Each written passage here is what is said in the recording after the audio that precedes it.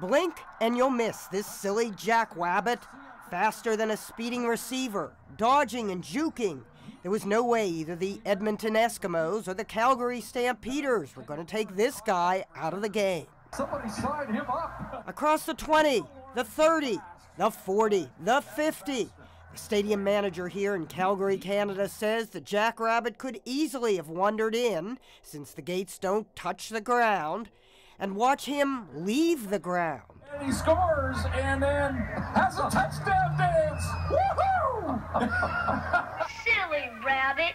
Tricks are for kids. Not this trick.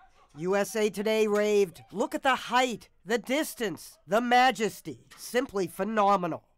Not since a hare scared by a snowboarder skittered across an avalanche have we been so impressed.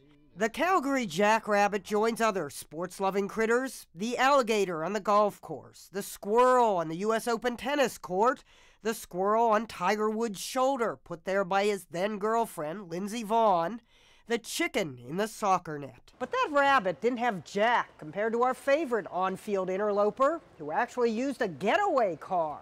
Spider Man the Streaker crashed a high school game in Seminole, Florida. There always has to be someone that does that. One pursuer bit the dust as Spider Man jumped two fences and was then picked up by a getaway car. Police got a partial license plate. When they caught him, the charges included uh, exposure of sexual organs. And here we thought it was just going to be a penalty for backfield in motion.